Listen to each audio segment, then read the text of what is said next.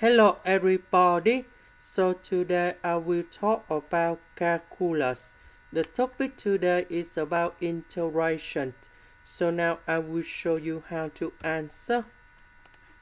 We need to use about integration by parts. So we have u equals to s to the power of 3 so we do first the derivative for the both side. So we have 3s squared ds dv. We have e to the power of 3s ds. So we do this integration. And we have v equals to 1 over 3 e to the power of 3s. So we have u multiplied by v so we have 1 over 3s to the power of 3e to the power of 3s minus du multiplied by v. So number 3 divided by 3 that will cancel. So now we just have only s squared e to the power of 3s ds. Now we continue continue use to this one in here but we change this one into number 2 and we have two 2s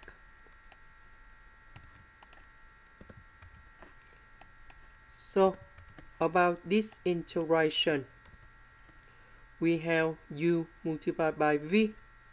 So we have 1 over 3 s squared e to the power of 3s and we have du multiplied by v so we have 2 over 3 and we have the integration s e to the power of 3s ds now we continue use to this one. But now we change for s and this one we have the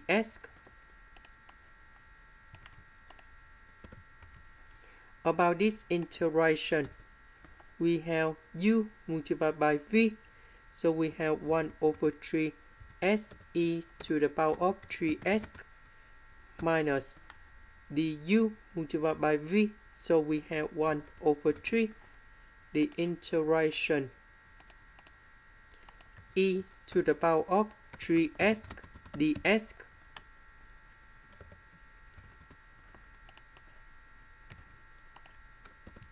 So the integration of this one, we have 1 over 3 e to the power of 3s. Number 3, number 3, we have 1 over 9.